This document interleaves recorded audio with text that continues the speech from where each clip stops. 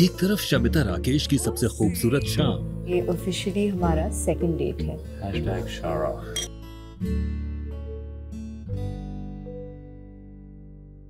एक कदम आगे बढ़ा।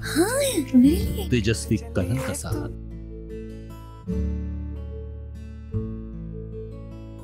So cute.